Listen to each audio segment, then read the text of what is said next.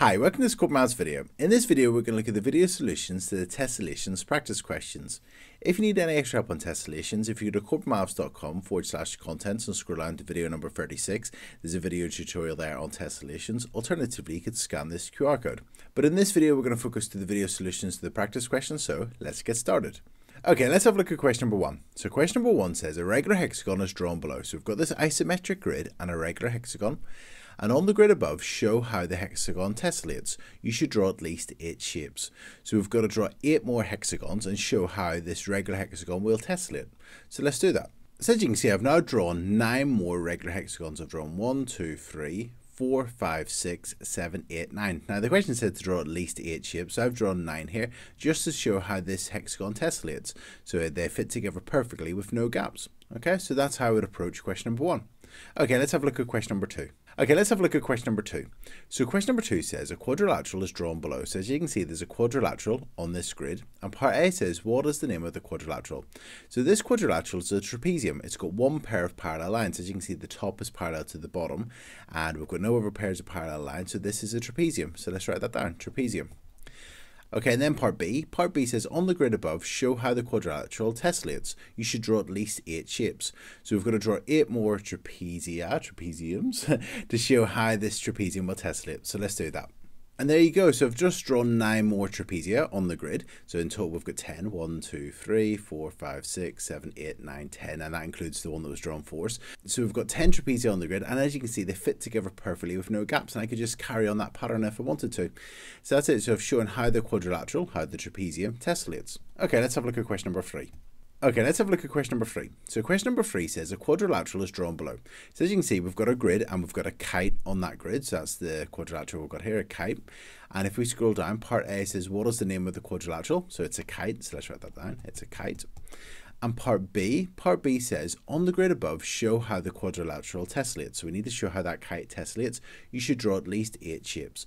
So let's draw at least eight more kites on the grid to show how this kite will tessellate. So let's do that. So there we go. So as you can see, the kites tessellate. They fit together with no gaps, and we could carry on that pattern if we wanted to. It's quite, it's quite a nice pattern. And as you can see, I've drawn one, two, three, four, five, six, seven, eight more kites on the grid as we were asked to. And as you can see, we've got the four, which are the right way around. One, two, three, four. And then we've got four that are upside down. One, two, three, four. And we could just carry that on if we wanted to. So that's part A. It's a kite. And part B, we've drawn at least eight more to show how the kite tessellates. And that's it. Okay, let's look at our next question, question number four. Okay, let's have a look at our next question, question number four. So question number four says a pentagon is drawn on the grid below. So we've got this grid and we've got this irregular pentagon. It's irregular because the angles are obviously not all the same and the sides are different lengths. So this is not a regular pentagon and regular pentagons don't tessellate anyway. But here we've got an irregular pentagon and we've been asked to show how this pentagon tessellates. The question actually says, show how the pentagon will tessellate. You should draw at least six more pentagons. So let's draw six more pentagons on the grid and show how they will tessellate.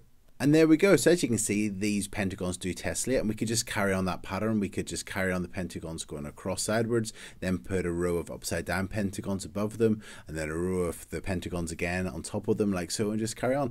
And as you can see, I've drawn one, two, three, four, five, six, like we're asked to. And I could draw more because the question says to draw at least six pentagons. I've just drawn six, but I could have drawn another one, and so on. So those pentagons will tessellate. They fit together with no gaps between them. Okay, let's look at question number five. So question number five says, here's a tessellating pattern made from equilateral triangles. So as you can see, we've got these equilateral triangles. And remember, an equilateral triangle is a triangle where all the sides are the same length. So for instance, if it was four centimeters here, that'll be four centimeters and that'll be four centimeters.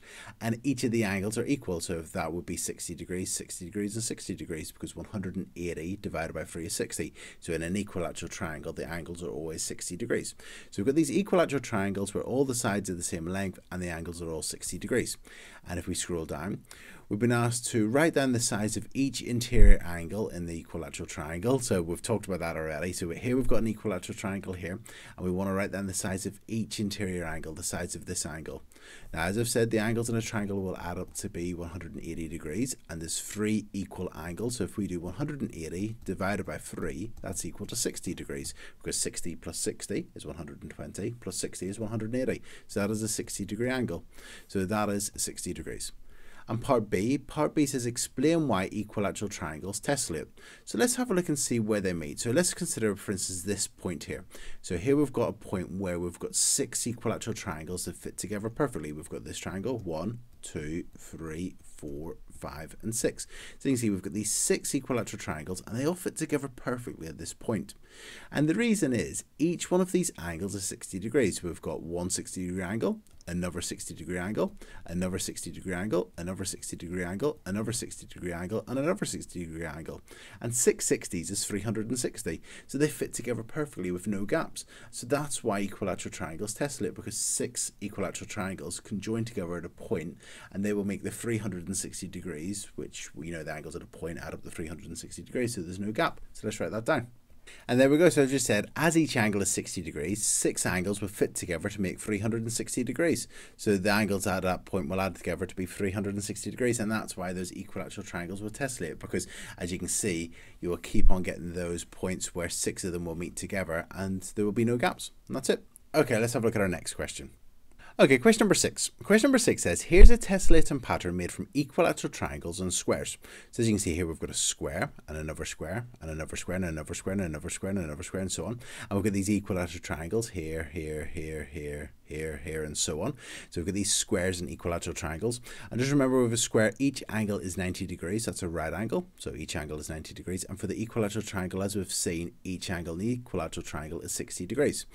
And they're the angles inside of those shapes. So question A says, write down the size of each interior angle in the equilateral triangle. So as we've looked at in question 5, that is equal to 60 degrees because 180 divided by 3 is equal to 60 degrees. So each angle inside the interior angles of that equilateral triangle are 60 degrees each.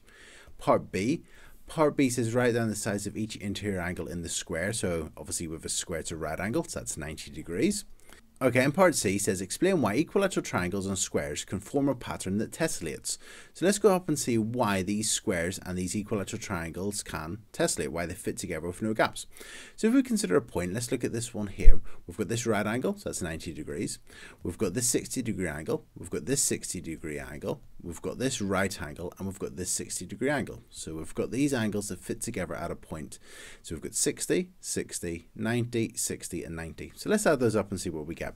So if we had 60 plus 60 plus 60, that's equal to 180. We've got our 90 plus 90, 90 plus 90 is equal to 180. And if we add those up, we will get 180 plus 180 is equal to 360.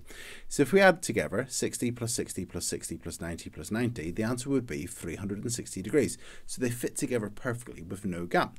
Now let's have a look at the other points. So this at this point we had three triangles and two squares joining at this point here. Let's have a look at another point. Let's look at this point here.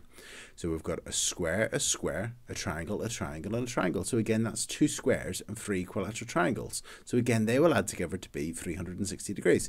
Let's choose another point. Let's choose this one here. And again, we've got a right angle, a right angle. So a square and a square, that's 90 and 90, 60, 60, and 60. So we have three triangles and two squares. So every time these shapes meet, you've got two squares and three equilateral triangles. And that'll be two lots of 90 and three lots of 60. And they will always add together to be 360 degrees. So let's explain that. And that's it. So I've just written, at each point, three equilateral triangles and two squares will fit together perfectly since 3 times 60 plus 2 times 90 is equal to 360 degrees. And that's it. Okay, let's have a look at our next question.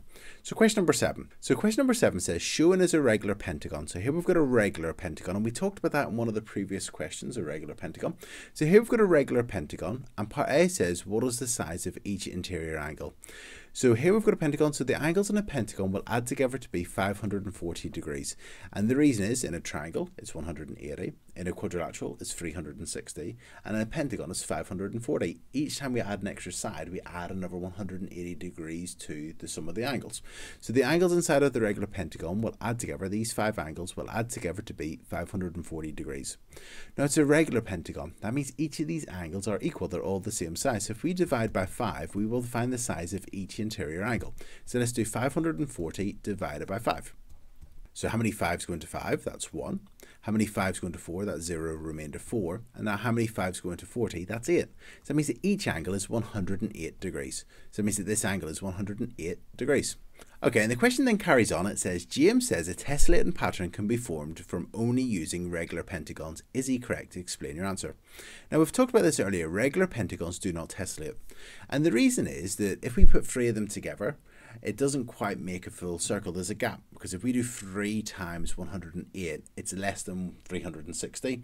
So that means there's a gap, but we can't actually fit the fourth pentagon in. So that means that the it won't tessellate because we three pentagons, there's a gap, and four pentagons, but they would overlap. So they won't fit together perfectly. So if we take our 108 degrees and we multiply by 3, let's see what we get.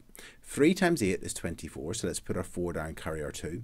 3 times 0 is 0, plus 2 is 2, and 3 times 1 is 3. So that means that if we put three regular pentagons together, the angles will add up to be 324 degrees.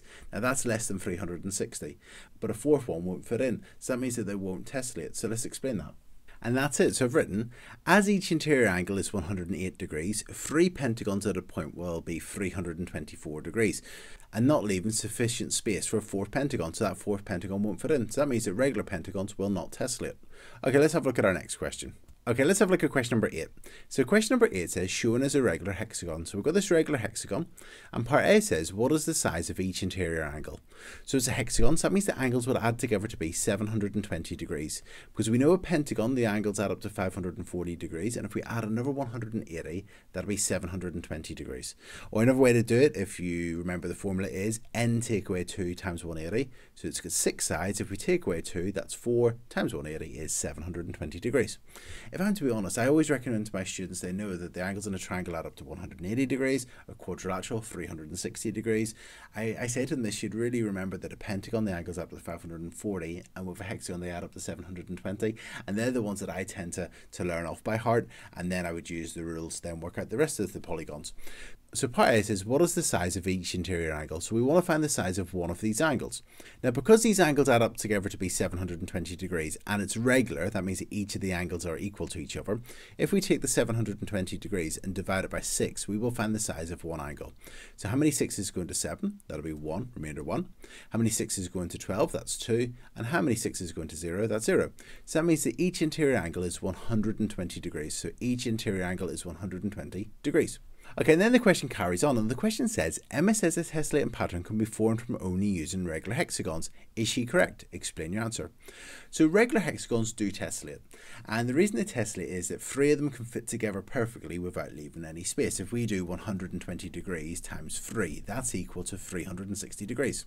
And that means that three regular hexagons will fit together perfectly without a gap. So that means that those regular hexagons can tessellate. And there's lots of examples of regular hexagons that tessellate.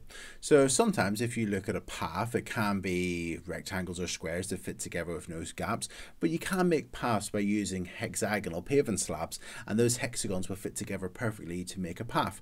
Um, if you consider the Giant's Causeway, so on the North, County Antrim coast, up on the north coast of Northern Ireland, there's the Giant's Causeway, and you've got these hexagonal diagonal columns that fit together perfectly without any space, and it's really cool because you can sort of jump from one to one, and they're really good to walk across.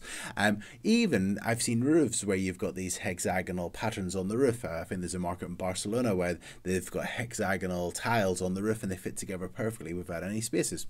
So three regular hexagons will fit together perfectly without any space, and it would look something like this. So as you can see, three regular hexagons will fit together without any space, so they will tessellate. Just thinking, does that look a bit like a beehive with these regular hexagons? Uh, something I'm going to look up whenever I finish this video. But as you can see, 3 times 120 degrees is 360, so they'll fit together without leaving any space. And let's write that down. And that's it. So just written, yes, three regular hexagons can fit together at a point. 3 times 120 degrees is equal to 360 degrees. Okay, let's have a look at our next question. Okay, let's have a look at our last question, question number 9. So question number 9 says, circle the shape that tessellates. And we've got four choices, a regular heptagon, a regular hexagon, a regular octagon, or a regular decagon.